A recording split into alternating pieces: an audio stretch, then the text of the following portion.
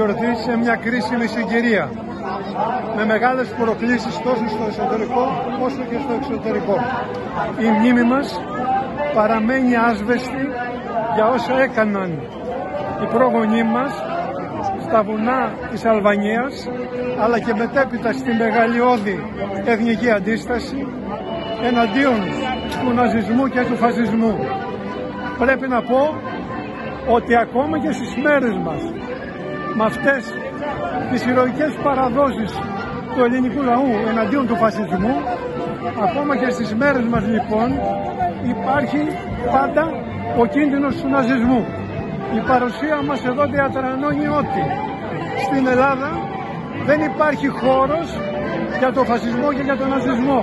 Στην Ελλάδα υπάρχει μόνο χώρος για την ελευθερία, την εδαφική ανακαιρεότητα την ανεξαρτησία και τη δημοκρατία.